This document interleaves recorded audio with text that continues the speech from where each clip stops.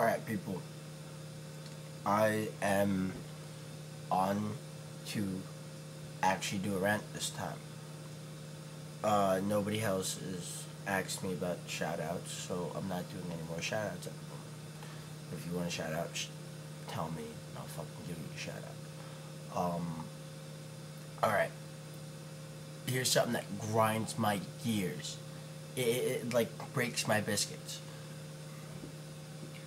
When a girl says, suck my dick, it's like, oh, fuck you, skank. It's like, suck my dick.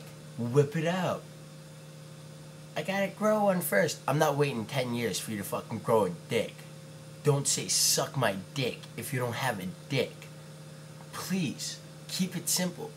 Lick my clit or like suck on my titty milk or some shit. Please, if you're a chick, do not say suck my dick unless you have a dick.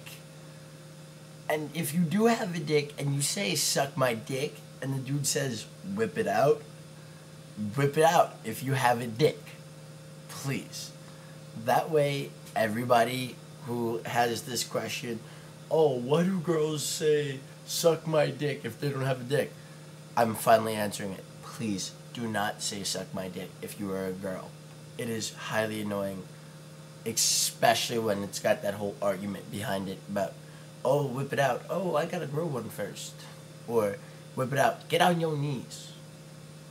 No, just no more, please. Girls, whoever say, whatever girl out there says suck my dick, please stop now. Say suck on my asshole or something. I don't know. Something other than SMD because you're not a dude. You don't have a dick. Unless you're a she-male. She-males I can understand. But if you're fucking straight, one-sexed person, please keep it to something that fits your gender. Don't say something from a different gender unless you have something of that gender. If you're a chick, don't say suck my dick.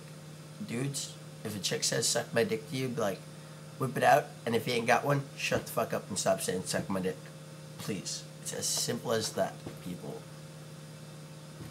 Stop saying something you ain't got. Okay then. Thank you. Goodbye, sir.